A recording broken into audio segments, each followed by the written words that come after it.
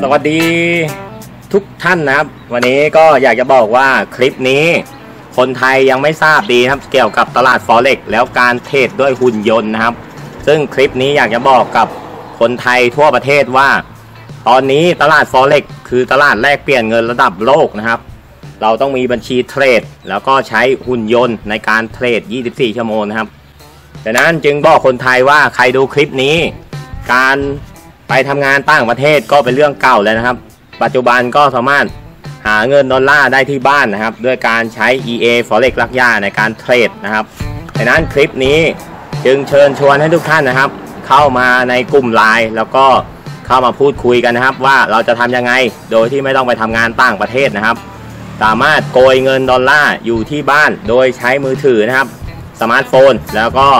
ใช้เครื่อง RDP เปิด 24 ชั่วโมงในการเทรดด้วย EA Forex ลักย่านะครับ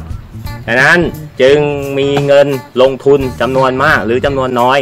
ไม่จำเป็นต้องไปหาเงินต่างประเทศ ให้เสียค่าหัว 1 0 0 0 0แบาท2 0 0 0 0 0 บาทนะครับ ไม่จำเป็นนะครับ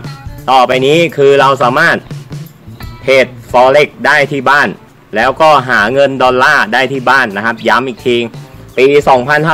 2561 นะครับ เราไม่จำเป็นต้องเดินทางไปทำงานต่างประเทศ เราสามารถทำงานประจำแล้วก็เทรด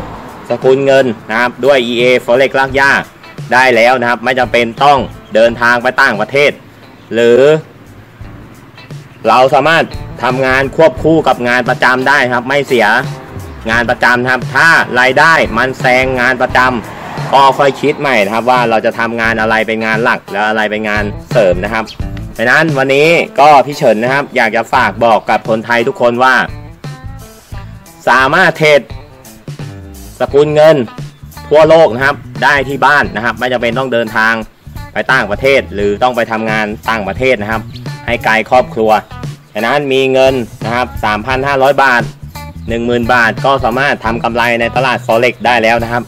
แล้วก็มา พูดคุยกันในกลุ่มไลน์โอเค ขอให้ทุกคนโชคดีสำหรับคนไทยที่ดูคลิปนี้จบนะครับ